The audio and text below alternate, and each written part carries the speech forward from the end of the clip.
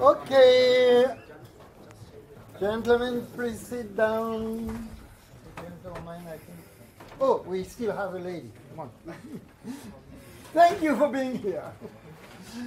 And our next speaker is Alejandro Mosteo from Spain.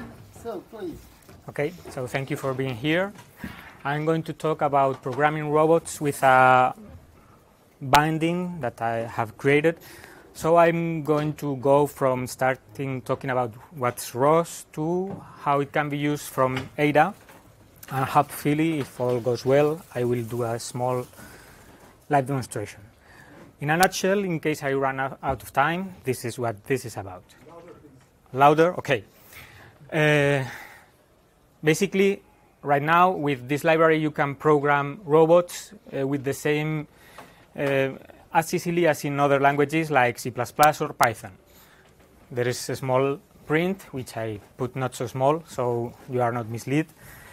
And well, what's ROS and why I'm using this? I belong to a robotics laboratory, so we do from high-level algorithms, distributed algorithms, to low-level things like taking care of the network medium to transmit in real time, and so on. And right now, programming robots, at least in some research contexts, means using ROS, which is ro robot operating system. It's not a robot, uh, an operating system. Sorry. Uh, this is when I ask if somebody has used ROS before. Okay. Great. And uh, so you know what it is. For those that do not know, it's basically um, a lot of things that work on top of uh, Ubuntu. And with that, you gain access to many uh, sensors, actuators, uh, algorithms. There is a communication infrastructure. So uh, essentially, it's a big ecosystem to program robots just to get an idea of what kind of robots we could be talking about. This is the original robot that was presented with the project. It's, as you can see, a big robot. It has several uh, embedded computers, uh, several cameras, several uh, lasers. Here's a demonstration that's oddly appropriate for FOSDEM. It's quite impressive when it uh, becomes bigger. And here it's doing a mission critical mission, which is retrieving, uh, you'll see in a second, retrieving beers for the, for the programmers. Okay, so you see, it's, well, if you go shopping for parts, you will also find robots that come with ROS support. So it's kind of expected in certain circles right now. So it's interesting to make Ada available uh, for ROS. And somehow the video is interfering. Okay, and when you jump in the ROS uh, one wagon, you have access to many leading uh, research projects for vision, cloud processing, and so on, mostly leading robotics uh, research. There's also push to make ROS uh, industrial ready. Actually, I will talk about a new project at the end of this talk. But uh, in the title, if you paid attention, it says ROS2 and not ROS. The thing is that the new version is on the works, and this one is trying to fix the problems of the past. Basically, um, ROS was not designed with re hard real time in mind. It's more kind of uh, high level algorithms. So, right now, they are paying attention to real time capabilities, uh, dynamic memory allocation, and things that will make ROS easier to use in industrial setups. And there is where traditionally ADA is uh, excellent. So why not have ADA for ROS2? And well, what's a ROS2 program or ROS program in essence? It's basically a set of different uh, processes or threads. Each of them is called a node, and it can communicate with other nodes. There are nodes for accessing sensors, for moving robotic platforms, to perform algorithms, and so on. In ROS2, there is an API which is low level, which is in C. There are two officially supported C++ and Python high level APIs, and there are third party APIs like the one I'm presenting today. The simplest way of communication is to connect nodes via topics, which is sim simple publish and subscribe uh, model of communication. And with that, you can create your own mess if you know what you are doing. Basically, some nodes publish information, some other nodes consume this information. And what information travels through those topics? Essentially, there, are, there is a way to define data types with text files, which get translated into records and these records can be used to create new records, so it's basically the same uh, thing we, that we do in all languages, but starting from a textual description. And now moving a bit into how this looks in Ada. Uh, well, this is how you would use that one a message in Ada. So you access the fields by name right now. You specify the type that you must know, although you can do introspection and everything in Ada Spirit is type checked and bounds checked and so on. Um, going back to the whole ROS uh, architecture, this is what ROS is doing right now. At the low level, we have the communication facilities. In ROS 2, there is a standard for real-time communications, embedded communications, which was not available in ROS. And then on top, we have the low-level client library and the high-level uh, client libraries. So RCLAda, what does is to provide uh, the equivalent to the C++ Python libraries, but for Ada. Also with some examples of user code. Going a bit more in detail on what the packages that RCLAda provides, we have those on the right. The binding is structured in several components that address several of the needs of the ROS ecosystem the building process, access to messages, and finally, the programming of actual programs. Um, looking a bit more into detail, those that are in green are the main packages provided by RCLAda. We have the CMake functions that allow to integrate the Ada code in the whole compilation uh, infrastructure we have the message port, and finally the client API that is intended to intended to write programs. And on top there are a couple of samples, uh, so people can check that things work as expected. There is a tradition in ROS that when you do a new client library, you implement the same programs, the same example programs than in other languages, so they can interoperate, and you can, can check them uh, easily.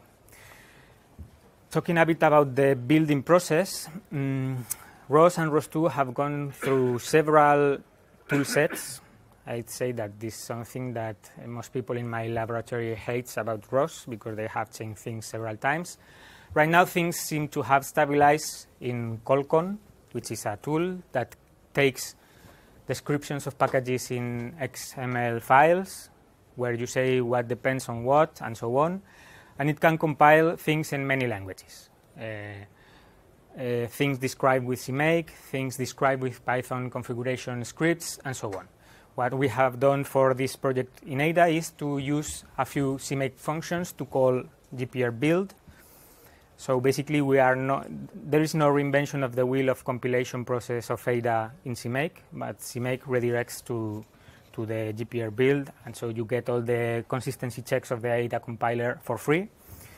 And at the end of the build process, you'll find the libraries or executables for use. Sorry.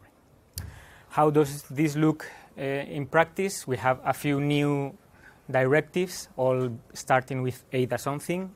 And for example, here you say that you are going to provide an executable with some GPR file. So it's as simple as that. You specify where is your GPR file, and everything should work out of the box. Of course, this is the theory. Mm. And for the final part of the library, we have the binding proper. When we have to interface with other languages, we need to write a binding if there is nothing before. And here we have the choice between automated bindings or manual bindings. Manual bindings are better because in theory. They are written by a human who knows what he's doing. Automatic bindings have limitations, just as we saw. And we can get pointers and things that we don't deal with in high level user code. And in this case, what I did was to try to get the best of both, both worlds. Uh, also because ROS 2 is relatively young, and so it's still evolving. So during the building process of the whole thing, what happens is that first a low-level binding, binding is automatically generated. And so we have the guarantee that we are using the actual existing C, C, C functions. And on top of that, it's a high, the high-level manually written binding. So this way, users have a comfortable ADA binding, and I can detect immediately if something has changed underneath, and, instead of get, getting mysterious segmentation faults, you get a compilation error because there is a mismatch between specifications and clients. Uh, well, now moving in, into the final part, which is using the library. I'm not going through detailed code because that's too boring. So instead, I'm going to show you just uh, two examples, uh, hoping that everything works. The first example is just a basic node that talks. He says something, and there's another node which is listening. Here, for this first example, I will use the C++ node talking to the ADA node. So I would go to the to where I have the library with my code. I would uh, issue Colcon build, and hopefully everything gets compiled fine. We'll see that. This is a backup copy. Nothing. If it goes wrong, there is no problem yet. There are some warnings that I have still to fix, but yeah. so those are totally uh, fine warnings that don't, do not affect the demonstration. and for that, here I'm going to launch the C++ node. As you can see, it's ROS2 invocation run within the daemon C++ package, run the talker executable, and it starts, it starts talking. In the other side, I will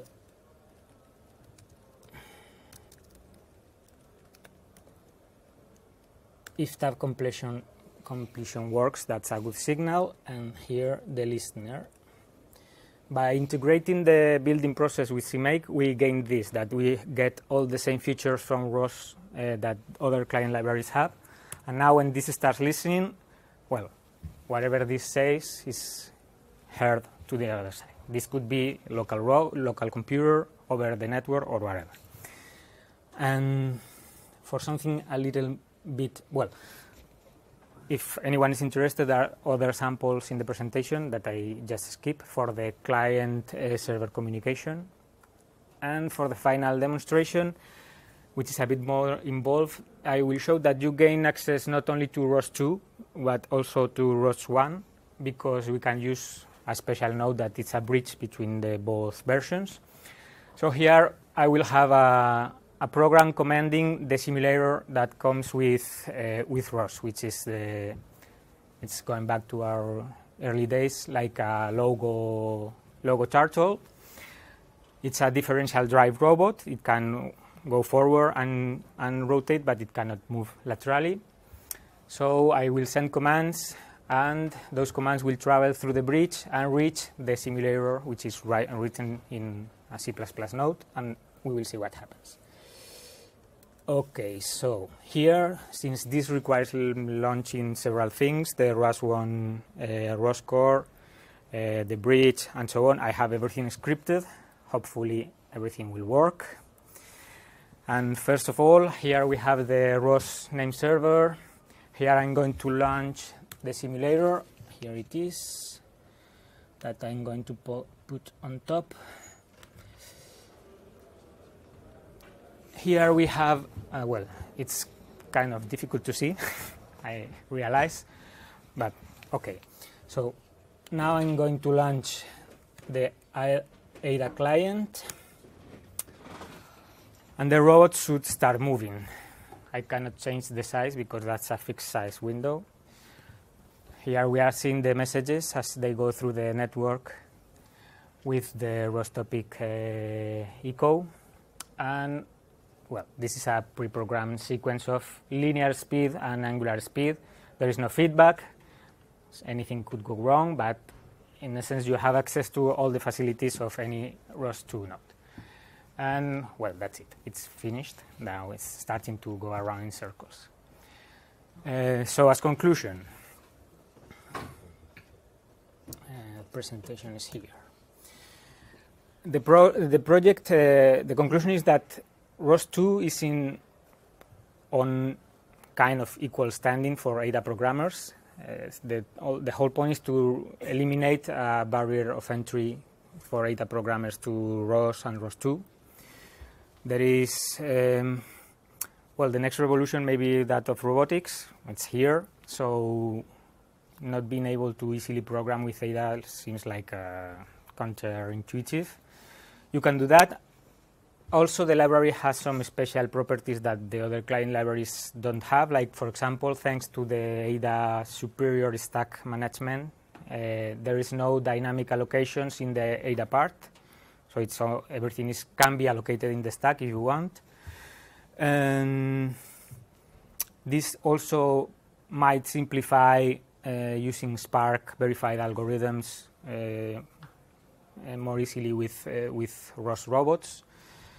And well, everything I, I, have shown you right now is done for the bouncy version of ROS2, which is end of, end of life. But yesterday I got confirmation that I got a small grant to work on porting this to the latest ROS2 version and keep it up to date and integrate it into the build farm of ROS2 so it should live moving forward and be kept up to date and hopefully integrated as a first class language, even if the Open Source Robotics Foundation is willing. And that's it. Thanks.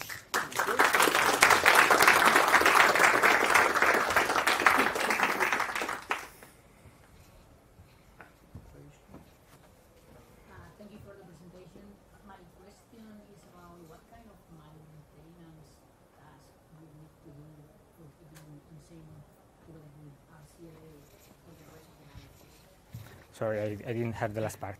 What, what do you need to do now that you have the board up and running to keep sync or up to the with the changes that are going into the RCL layer? Mm -hmm. Please repeat the question. Yeah, for the, for the I think it's what's the maintenance. Repeat the question, otherwise it's not recorded. Ah, yeah. So the the question is that uh, what's the maintenance needs to ensure that this keeps in sync with the rest? Well, thanks to the automatic binding, uh, I already know that for the latest ROS2 version there are some breaking changes. The first step is going to be to fix those changes. Hopefully, RCL will be stable uh, in, in, the future with only new features. So the maintenance work will be to add those new features. For example, actions are still not implemented. That's another of the milestone of, the, of this new project.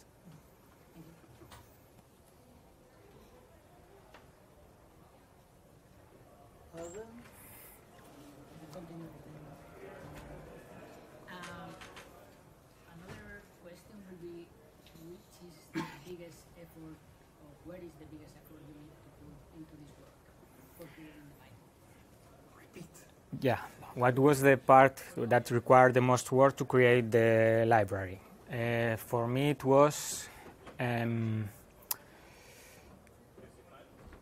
integrating the CMake building process that was really complex to understand because ROS2 works with templating of uh, messages and there are many hidden dependencies between packages that are not explained anywhere because for a normal uh, user, it's not necessary to know. Then the binding, of course, is more work because it's quite big uh, API, but it's more mechanical. So the more, more difficult was to get to understand how the build process worked with CMake, with Python sometimes on the mix. Uh, yeah.